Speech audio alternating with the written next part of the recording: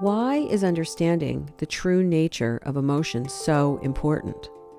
And why is it important to distinguish it from emotion perception?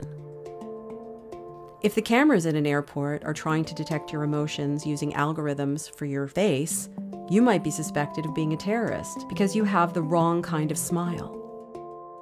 Women over the age of 65 die more frequently from heart attacks when compared to men because when they go to the hospital, with pain in their chest, they and the emergency room physicians are more likely to interpret that pain as evidence of an anxiety attack. And so women are sent home and subsequently have a heart attack and die harrowing evidence against televangelist Nigerian pastor Timothy Omotoso. Zondi told the court that Omotoso sexually groomed her for years. The defense cross examined her on her demeanor, saying that she didn't look fearful.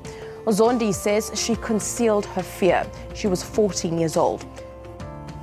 Other studies show that in a rape trial, if the judge and the jurors believe that a woman is angry instead of grieving or feeling shame, then the defendant is more likely to receive a lighter sentence if he's found guilty at all.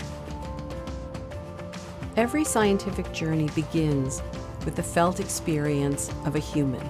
We used to believe that illness was caused by spirits or curses or miasma in the air until we engineered tools that allowed us to see microscopic viruses and bacteria invisible to the naked eye. Even then, we miss the truth, believing that these tiny creatures were the sole cause of illness.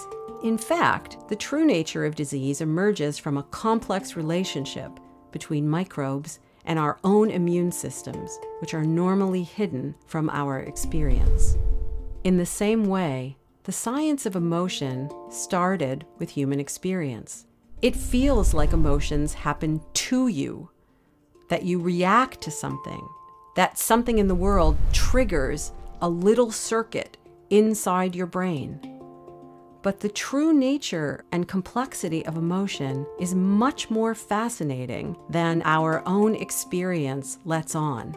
Under the hood, emotions are not built into your brain from birth. They are built by your brain in specific situations from a set of basic ingredients. You have a predicting brain, a body that causes you to feel affect, and a set of shared concepts that are absorbed into your brain as it develops throughout your lifetime.